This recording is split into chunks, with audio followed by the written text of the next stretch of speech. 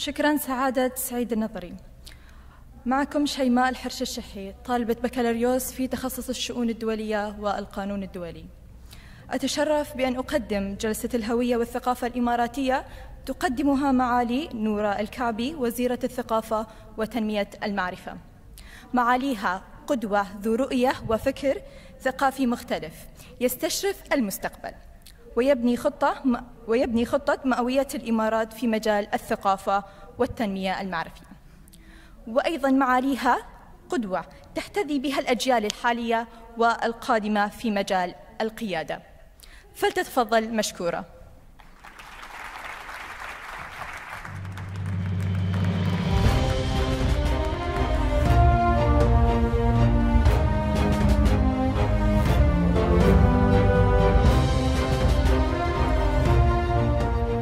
صباح الخير. بس هذا هو. شكلكم ما still energy ال energy وين الطاقة مالتكم هني ولا فوق؟ فوق؟ صباح الخير. okay طبعا أتشرف بوجودي هنا اليوم معاكم مع الشباب مع أيضا المؤسسة الاتحادية للشباب أشكرها على هذا التنظيم الرائع. وأشكر طبعا آه، آه، سعادة السفير وفريق عمله آه، في هذا التنظيم اللي اللي إحنا يمكن على أيامنا يوم كنت أنا طالبة. ما كنا نشوفه وايد. فأعتبر هذه النقطة مهمة جدا. ليش مهمة جدا؟ لأن إحنا الحين وصلنا لمرحلة فيها خارطة طريق واضحة. هذه الخارطة لازم إحنا نفكر فيها ونفكر أيضا كيف إنها تأسس هويتنا إحنا كإماراتيين. سواء كنت مهندس chemical engineering أو آه، أو كنت طالب آه، آه، في العلوم السياسية أو أي تخصص. الشيء الوحيد اللي كلنا متشابهين فيه هو هويتنا إحنا الوطنية اللي لازم إحنا نتأكد إن هذه هوية إحنا نعتز بها.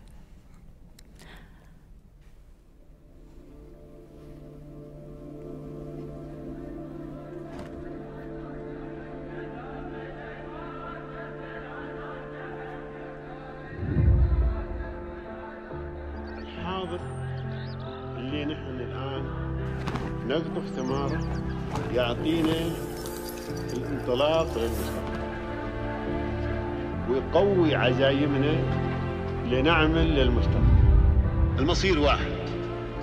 ما في مصير لأمارة ومصير لأمارة أخرى أو مصير لفرد وأفراد والآخرين لهم مصير آخر. أبدا. المصير واحد. والحرص واحد.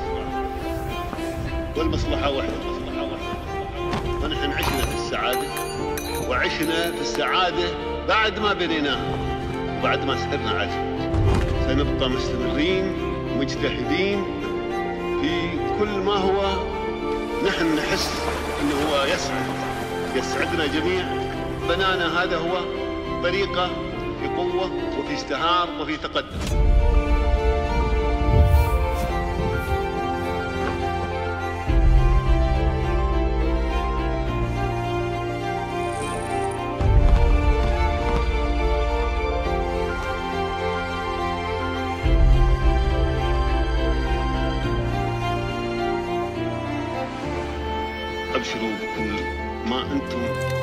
تطلعون إليه كمواطنين تؤمنون بوطنكم وبأمتكم وبدولتكم وبكيانكم وبجيلكم هذا وأجيالكم الجايه.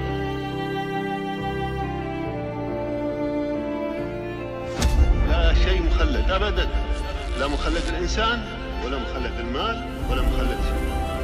مخلد خالد الوطن العمل للإنسان وكل فرد منا بيذكر بعمله كل ما بيعمل يذكر بعمله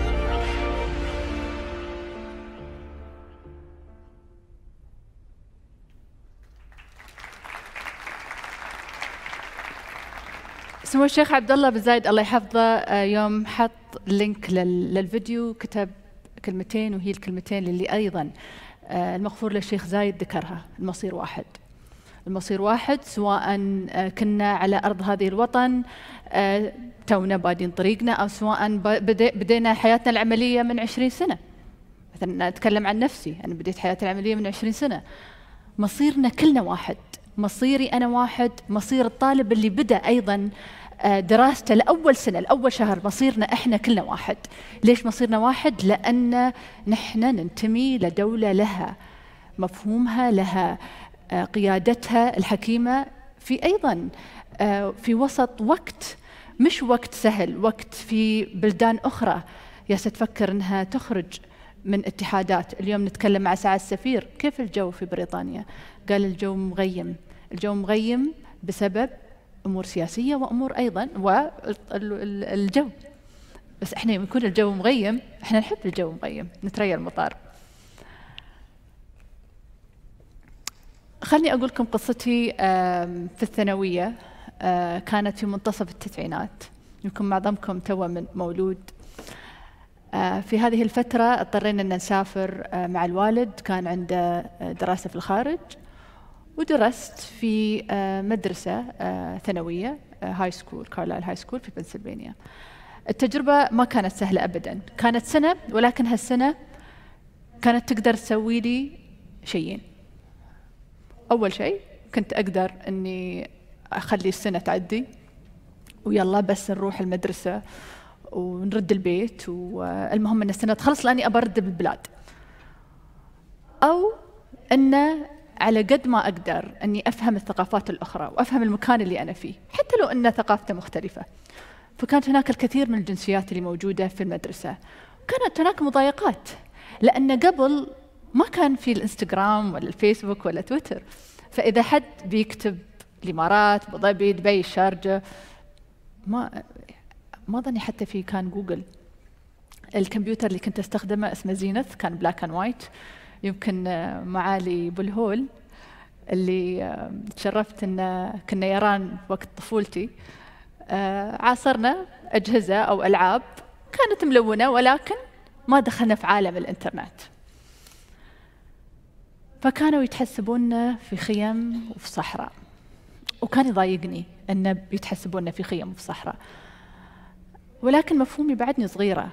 ما كنت أقدر أشرح أن الصحراء والخيمة هي جزء من هويتي. كنت قبل أحس أن هذا شيء يمكن متخلف. ولكن الحين يوم إحنا نسأل نفسنا سؤال. إحنا في 2019 في دولة الإمارات أو خارج دولة الإمارات. ما هي هويتي أنا كإماراتي وكإماراتية؟ يوم يسألون حد. أنت من وين؟ في حد بيقول أنا من دبي أنا من أبوظبي أنا من الإمارات. بعدين في صورة بتطلع في مخيلة الشخص. تحسون أي صورة بيعرفونها عن عن إحنا كالإمارات؟ صورة الصحراء ولا صورة برج خليفة؟ برج خليفة. أو الصحراء. وبوث صح. صورة برج خليفة وصورة الصحراء هي الصورة اللي أيضا تمثل شيئين. تمثل تاريخي تمثل بيئتي. وبعدين تمثل أنا كوطن كيف هناك تطور. في إبراز الهوية بطريقة أخرى في إبراز مفهوم التعايش في أيضا مفهوم القيادة أن تكون دولة الإمارات دولة متقدمة فيها الكثير من الثقافات التي بتثري موقع دولة الإمارات. فمو غلط إذا حد قال بعدكم صحراء ولا في خيام. بالعكس أنا بيكون عندي فرصة. فرصة شو؟ فرصة أني أجاوب على السؤال. يوم حد بيسألك أنت من وين؟ بتقول من الإمارات. يمكن بنبدأ بنقول سنة 1971 تأسست دولة الإمارات وبتسردون القصة اللي تعرفونها. ولكن المهم جدا أنكم تسردون قصة مختلفة. أكيد معظمكم يحب يتابع مسلسلات. صح؟ مسلسلات شو؟ okay. Netflix يعني. okay. يعني أنتم يهمكم القصة. تهمكم القصة يهمكم ال production يهمكم كيف أنا بتكلم عن هويتي كإماراتية أو عن القصة نفسها. حتى نتفلكس يشوف لك أو يشوف لك المسلسل اللي بتتابعينه 80% 97% وهي الطريقة اللي إحنا في آه نعرف ما هو توجهنا في القصص. ولكن فكروا بشيء ثاني. فكروا أن بلادكم هي مهد حضارات. هناك حضارات وجدت في دولة الإمارات ما كانت موجودة من قبل. سواء كان في مسيد اللي اكتشفوه في العين اللي عمره ألف سنة. سواء كان دير مسيحي في صير بنياس من 600 ميلا 600 ميلادي. فلازم شوي نبدأ ورا. نبدأ أن إحنا وهاد عندنا حضارة. مو بس 1971 دولة الإمارات. لا قصتكم لازم تكون قصة فيها عمق فيها هوية. قصر الحصن 250 سنة. آل نهيان سكنوا قصر الحصن. هناك الكثير من القصص والعبر لهذا القصر وافتتح معرض قصر الحصن. ولكن في نفس الوقت مرات يحسسونا إحنا اتحادنا جديد ولكن الإماراتي أو الإنسان اللي عاش في دولة الإمارات لا قصة ولا حضارة. يوم نسأل نفسنا شو هي الثقافة؟ الثقافة طبعا اللي هي لغتي هويتي لبسي يمكن مرات. ولكن الشيء اللي لازم إحنا نركز فيه وقال سمو الشيخ محمد بن زايد الله يحفظه يوم بنسوي شيء إيجابي بيقولون إماراتي يوم بسوي شيء سلبي بيقولون إماراتي. فكيف أن الفاليوز كيف أنا كإماراتي يكون عندي صفات تميزني عن الآخر؟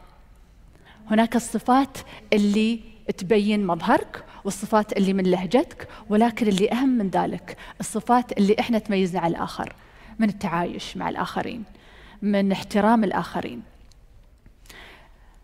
فهذه الصفات أيضا مرتبطة ارتباط وثيق بأن بلادنا لها مهد حضارات تعرفون اليونسكو؟ ما تعرفون اليونسكو؟ هني وأكثر شيء متفاعلين هالجهة هالجهة متفاعلين اليونسكو هي منظمة للثقافة والعلوم. هاي المنظمة منظمة عالمية مقرها في باريس. هاي المنظمة منظمة أيضا تساعد على تسجيل التراث المادي والغير مادي. المادي هي اللي المواقع اللي أيضا مسجلة في اليونسكو. سجلناها في اليونسكو كدولة الإمارات من واحات الهيلي آه، آه، وما إلى ذلك في مدينة العين. هذه مسجلة وهذه مادية لأن أنتم تقدرون تلمسونها. ولكن أيضا الغير مادية هذا شيء إن إحنا مهم جدا إن نفكر فيه. في مواقع مادية وإحنا نقوم أيضا بتسجيلها لأن المسؤولية ليست مسؤولية فقط مسؤولية وزارة أو مسؤولية مدينة ولكن مسؤولية هذا التسجيل تكون مسؤولية أيضا عالمية. أنت يوم تحافظ على هذا الشيء تبى فيه يكون استمرارية. يكون في استمرارية أن المبنى نفسه أنت ما تبى تخربه. خلاص ما نبى نكون في في مدن تتشابه. ما نبى نشوف مباني تتشابه. يوم تبون يوم حد بيزور بلادكم أو امارتكم شو هو المبنى اللي يميز؟ مبناكم اللي يميز أي مبنى آخر. فهناك طبعا مثل ما ذكرت لكم مواقع في الهيلي في العين التي هي مسجلة. وأيضا الثقافة الغير مادية اللي هي المعنوية مثل الصقارة مثل الرزفة مثل القهوة مثل الميلس. هذه كلها أشياء معنوية ولكن تمثل هويتكم وليست فقط مسجلة بذهنكم أو عند أهلكم ولكن مسجلة أيضا في منظمة دولية. فبهالطريقة أنا بس جالسة أقول لكم هالأشياء عشان you package هويتكم. تاريخها آلاف السنين شو اللي قبل موجود من 200 سنة شو هي المواقع الأثرية وشو هو أيضا الثقافة الغير ملموسة سدو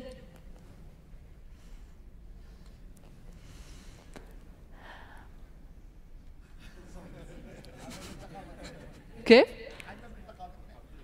هذا عيال سلايد غلط. لا. أعزمهم على يور دونتس واتس يور دونتس جيمات دائما كيف أنا ببرز ثقافتي بطريقة تكون طريقة الأشخاص الثانيين من ثقافات أخرى بيحبونها. إحنا كلنا متفقين أنه مهم عندنا الوجبات. الأكل مهم. الموسيقى مهمة. القصة الجميلة مهمة. فالثقافة تجمع واللي أحب أركز فيه يوم نتكلم عن الثقافة والتراث المادي غير مادي يمكن يمكن منا ناس يقولون بعد قصتي أنا يوم كانوا يقولون أنتم عندكم خيمة وصحراء كنت أتضايق. بس بس نفس اللي أنتم قلتوا لي إياه الحين أنتم تتابعون مسلسلات على بلاتفورم معين. هل مستعدين أنكم تتابعون كل يوم فيلم أبيض وأسود؟ ثلاث ساعات؟ عشان ما في وقت بس أنتم في بيكون لا ولكن أنا أجدد شو اللي أجدده؟ أجدد هويتي كيف أجدد هويتي؟ بالثقافة وبالتصميم تشاركنا مع دبي Design District حي دبي للتصميم مع إماراتيين مصممين برئاسة أيضا آه، المقيم خالد الشعفار اللي قدموا أعمال هذه الأعمال متصلة بالهوية الإماراتية ولكن مصنوعة بطريقة حديثة. هذا تصميم.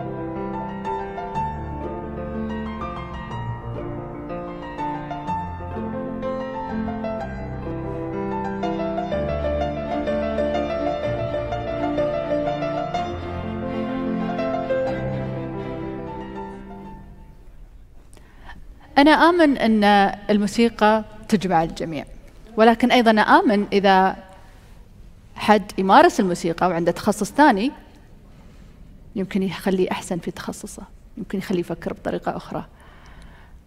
وهذا شيء أيضا لمسته من بعض الطلاب اللي كانوا معنا backstage اللي قال لي أنا مهندس chemical engineer واللي قال لي بس كل واحد منهم سألته آه، مع معالي بالهول شو هي الموهبة؟ اللي قال أنا أمسي أنا أقدم اللي قال أنا أخرج أفلام اللي قال أنا مثلت. الفن مهم جدا. أنتوا كل واحد منكم ما أظني يومه ما يكون في موسيقى ولا صورة جميلة ولا قصة جميلة ولا مسلسل جميل. فأنا اللي أطلبه أن كيف إحنا تكون عندنا موهبة أن نقول قصتنا وهويتنا بطريقة تواكب العصر. إن شاء الله في المستقبل بيكون عندنا أوركسترا وطنية. هذه الأوركسترا أيضا بتكون أوركسترا تمثل دولة الإمارات. وعندنا الكثير من المواهب اللي موجودة في دولة الإمارات ولكن يجب علينا أيضا أن نوفر المنصة اللي بتوصلهم لمنصات عالمية بروح إماراتية بثقافة إماراتية. الله يرحمه الشيخ زايد أسس دولة الإمارات. الشيخ زايد يوم أسس دولة الإمارات مع أخوانه. كان عنده نظرة ما حد كان يشوفها قبل على وقته. وكان يقول شيء وايد مهم. وقبل ما أنهي أبا دائما تتذكرون معالي شمة وفريق عملها يوم اختاروا أن المبادرة العالمية تكون بصمة الشيخ زايد. كان هناك سبب وايد مهم. أنا شخصيا كنور الكعبي ما أقدر أتخيل الوول بيبر لتليفوني مش صورة شيخ زايد. الشيء اللي لازم إحنا دائما نركز عليه ان ما حد بيخلد ما حد بيتم خالد. ولكن عملنا إحنا مثل ما ما ذكر المغفور له. عملك أخلاقك هويتك. كيف الهوية بتكون هوية تميزني مو بهوية لازم أختلف فيها أو أتشدد فيها أو لا أنت مو بلابس صح أو أنت ما تتكلم صح لا. إحنا ما نبى نوصل مرحلة أن نحاسب. نبى نوصل مرحلة أن نعزز هذه الهوية. تواكب أيضا التطورات. تواكب المفهوم البلد الوقت اللي إحنا عايشين فيه. تواكب أيضا الشاشة اللي أنتم تمسكونها بين إيدكم. هاي تفتح لكم عالم. فأنا لازم ثقافتي أيضا تكون ثقافة مفهومها عالمي مثل ما فكر الشيخ زايد كان عالمي في توحيد بلد في العصر الحديث عمره ما صار هذا الشيء. أنتم متميزين فيه. مشكورين على هذه الفرصة. شكرا.